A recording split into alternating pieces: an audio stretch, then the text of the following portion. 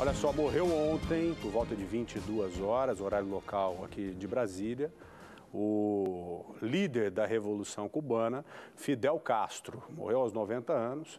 Ele que liderou Cuba, esse regime comunista, aí, por pelo menos quase 50 anos, pois passou o comando para o irmão Raul Castro. E o Fidel sempre dividiu opiniões, né? amado por muitos, odiados por, odiado por muitos também, tanto que nós vimos agora com Eleonora Pascoal, dire, direto da Little Havana, um bairro de Miami, onde há uma concentração muito grande de cubanos que fugiram deste regime comunista que eu acabei de dizer, as pessoas comemorando a morte do Fidel Castro. O que a gente percebe é a reação de acordo com a geração. As gerações antigas, muitas pessoas destas gerações passadas gostam, idolatram, exaltam o Fidel Castro. As mais recentes, os jovens, odeiam. Por exemplo, lá em Cuba, até hoje ninguém pode ter internet dentro de casa. Não pode ter internet dentro de casa. Né? O embargo americano foi retirado há pouco tempo, em 2014, né? em 2014, há dois anos, mas ainda há embargo de outros países. Né? Cuba vive uma situação complicada, né? não é uma situação bacana de se viver. Né? Por ser uma ilha, os caras estão mais ilhados ainda devido a esse regime que eu acabei de dizer. Tudo que é imposto tudo que é colocado de forma compulsória não é bacana, né, gente? Não é legal.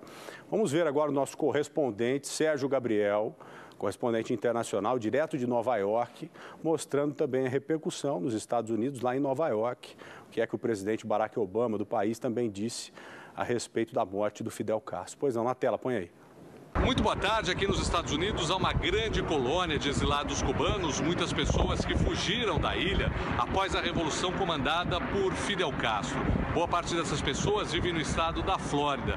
Logo depois da notícia da morte de Fidel Castro, algumas dessas pessoas foram às ruas em Miami comemorar e fizeram festa com a notícia da morte do líder cubano.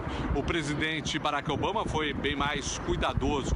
Ele disse que vai caber à história registrar e julgar Fidel Castro. E lembrou que tanto o povo cubano quanto o povo americano fizeram muitos esforços nos últimos anos para que se pense mais no futuro e menos no passado. Lembrando que o presidente Barack Obama foi o primeiro presidente americano a visitar Cuba depois de 88 anos e que Barack Obama trabalhou no restabelecimento recente das relações diplomáticas entre Cuba e os Estados Unidos. Barack Obama também enviou ao Congresso americano um projeto propondo o fim do embargo econômico a Cuba.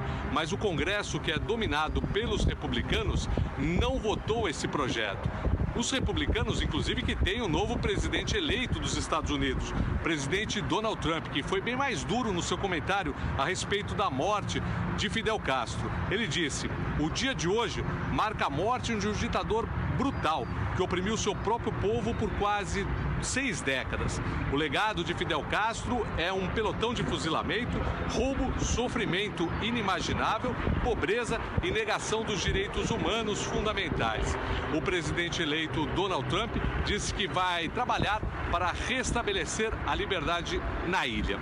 Essas são as informações e a repercussão da morte de Fidel Castro aqui nos Estados Unidos. Sérgio Gabriel de Nova York para o Brasil Urgente.